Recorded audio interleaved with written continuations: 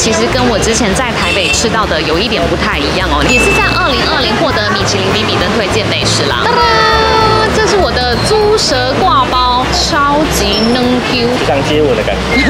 它的春卷是可以克制化的，光甜度的部分就有从超甜到正常，然后少糖、微甜什么什么，超级多。这个超特别的耶，哎，就有点像日本的茶泡饭哎，对不对？太好吃，这个荤桂怎么可以这么软？它真的超级的软呢，软到真的很舒服，这个味道我好喜欢。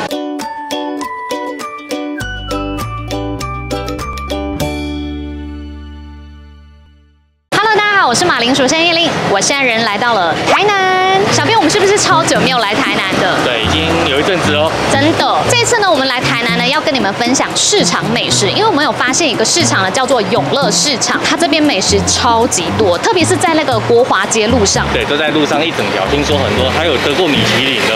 真的，总之这边的美食呢，真的是多不胜举。好，那我们现在赶紧去排队吧，因为听说这边的美食呢，很多都是超人气，都是要大排长龙的。好，那我们出发喽！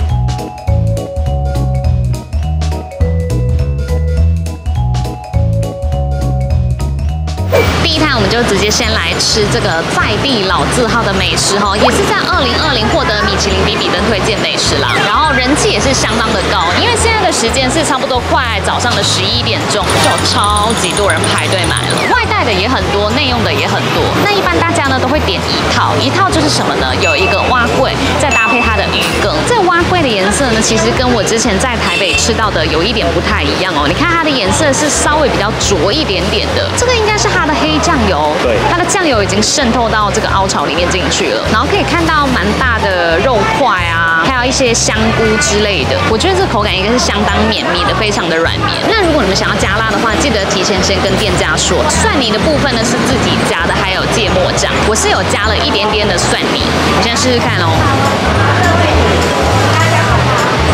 相当的挡抛鼻，这个重口味我很喜欢的，因为我觉得它的酱油是带一点咸甜味的，它不是死咸的那一种，因为一般的话，最多白色居多。但很香哦，整个酱香味都有跑出来。它的肉我看到有肥瘦的，你看这个超肥的，这好像是五花肉那个带皮的，对不对？如果你喜欢蒜香味的话呢，那个蒜你加多一点，哇，我刚才第一口整个蒜香味也超重哦。好软绵哦，然后鱼羹也是要配着吃的。看一下鱼羹其实很简单，上面是放一些姜丝嘛，然后它的鱼羹呢大概给的蛮多块的耶，有大有小。它的酸味比较重哎，我发现呢、它虽然很勾芡，但是喝起来算是偏有一点点清汤型的嘞。嗯，连鱼羹的口感也好 Q 弹哦，我觉得这样子一个套组啊，我很喜欢哎，早餐这样吃很 OK。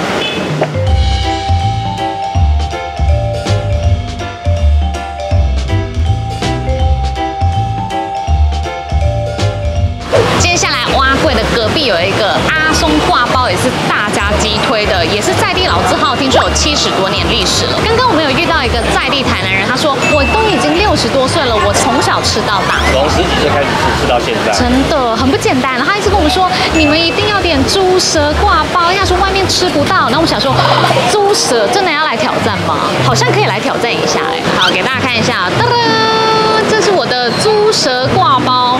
我跟你说，这挂包我一定会非常非常的喜欢。为什么？因为它有花生酱，然后猪舌吼大概是有两大块，超级厚的这个猪舌。其实它的挂包也蛮简单的，配料就是放酸菜跟那个腌萝卜。嗯，超级嫩 Q。像接吻的感觉。它这样子不是有那个花生酱的甜味吗？然后有那个酸菜跟腌萝卜的酸味，酸甜酸甜的耶。而且你们看一下它高汤的颜色，是不是很像那个低鸡精的颜色，对不对？哎呦，真的很浓缩哎，这个汤头，不管是内用呢、外带都可以付这个汤头的。外带的话呢，如果你要喝这个汤呢，可以跟老板讲。它有一点点枸杞的味道，它整个味道真的是超浓郁的，哎，你会让人觉得这个汤头真好加分哦。难怪刚刚我们前面那个妈妈外带三包。她讲说这个汤是一定要喝的。哇，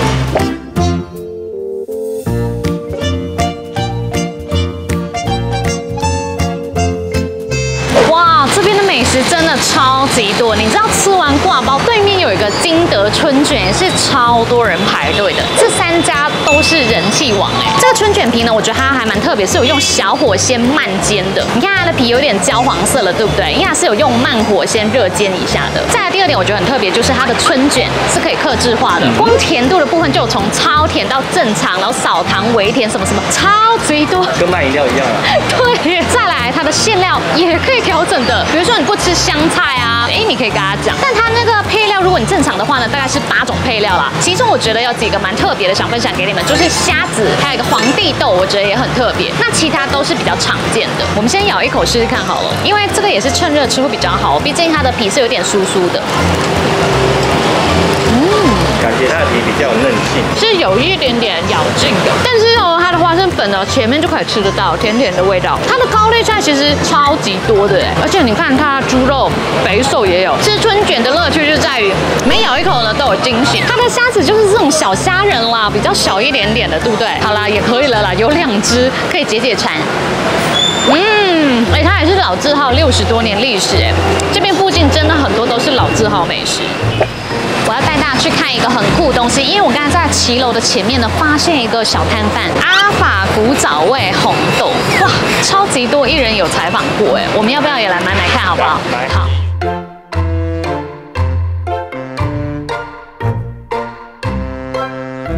老板刚才有跟我说，他们开了三十多年，然后是一二休息，就是平常都是在这边摆摊了。我跟你说，我刚还没买的时候，老板就说你是不是要十块钱那个？嗯这不是因为他没有吃过，所以我要尝鲜。尝鲜呢就是十块钱，是长这样子的。那如果你吃过，你觉得很喜欢的话，你可以买一盒的，因为它一盒有分小盒跟大盒，给大家看一下。你看，很像冰淇淋，对不对？它带有一点冰冰的哦，但红豆的口感吃起来又更加的绵密，不管是老人家小孩都会蛮喜欢的。它那个甜也是很舒服的甜。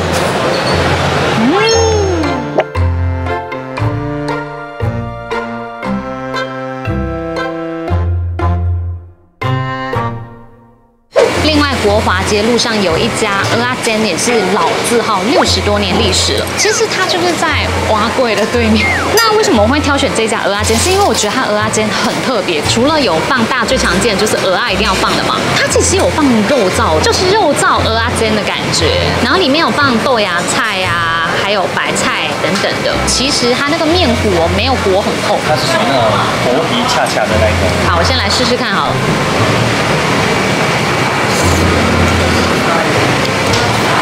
这样子看起来好像以为很厚重，对不对？其实我觉得它这个甜味跟鹅阿煎搭起来超级搭，而且它那个豆芽菜给的很多，也是很 juicy。另外还有一个就是香菇汤饭，这个超特别的耶，哎，就有点像日本的茶泡饭哎，对不对？对，它这个香菇味道很浓郁，你知道为什么吗？因为它是用泡香菇的那个香菇水啊，去熬成这个高汤。所以它整个满满的香菇味嘛，对不对？它配料就是有给虾子、香菇、肉丝，然后还有放笋丝嘛。那香菇干一咬下去，哇，整个汤汁喷出来，就觉得超过瘾的，又很香哦。现在呢，我要带大家去找一家百年布丁。但我看 Google 地图哦，它上面是写说好像在水仙宫市场里面，所以其实我们也是可以拍水仙宫市场美食，对不对？有机会的话再分享给你们。那我们去找一下那个布丁，好不好？往前走好了。我们现在已经走到市场里面来了，里面卖好多的服饰哦。啊，找到了，找到了，就这里。我看到我们要买的东西就是这个鲜奶焦糖烤布丁，那我们就来买一盒这个布丁好了。噔噔，百年老字号的布丁，小小一罐的，它这样子一盒大概有六根哦，是一百八的。其实布丁就要倒扣出来，这样子吃会比较好吃，它焦糖在上面哎，对不对？哦，是不是很绵密？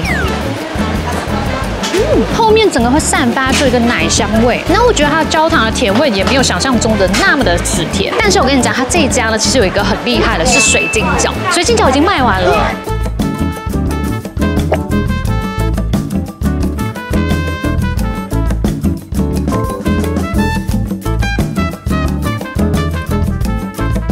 后一家天气也越来越热，所以非常适合来吃一碗冰豆花，这个也是老字号，大概有三十多年历史吧。你知道他们以前是什么起家的吗？是做黑砂糖刨冰起家的。然后我旁边有一个超复古的东西，就是这个扁担。他们以前是挑扁担卖豆花，哎，大家来这边都会点一个所谓的招牌豆花。其实它不只是豆花有名，它有一个东西一定要吃，就是它的荤桂。好，我们给大家看一下五色荤桂有哪些哦。我记得有原味的嘛，然后有加豆浆的，然后有洛神花的，对这是黑糖荤贵，对不对？对这个应该是凤梨嘛，对不对？对，凤梨的。我觉得布丁搭配豆花一起吃，超级的邪恶，因为它两个都是超级绵密的口感。豆香味很重，这布丁是还蛮甜的，因为它有一些焦糖，有没有？我试试看它荤桂，因为荤桂是招牌必吃的。哦，太好吃！这个荤桂怎么可以这么软？那我刚才吃的那个是凤梨口味的，我有发现它凤梨的香气跟甜味整个有呈现出来，所以一吃下去就觉得哦，就是凤梨。有没有？有没有？有没有？传统一般的那个荤桂啊，它强调是那个 Q 劲，所以传统那个很黏，嗯，好滑哦。它是不是又滑又嫩，对不对？对，哎，真的不错哎。它其实有另外卖荤桂哦，这荤桂我会买，因为真的太好吃了，荤桂真的很滑很滑。好，我们现在来到了二楼，但是我发现这边好像有居民住的样子，你看有那个晒衣架，对，它其实应该是住家。所以这边里面也算是住宅区，然后也有咖啡厅，还有古着店，对不对对？这是百货行，超酷的哎，看起来就是非常的复古。这个是酒廊啦，感觉会有 bartender 在这边调酒哎，这边还有卖杏仁茶的。我们现在又看到另外一家咖啡厅了，这个是密室咖啡他没开。啊，他没有开。大逛完永乐市场也可以上来这边喝杯咖啡啦。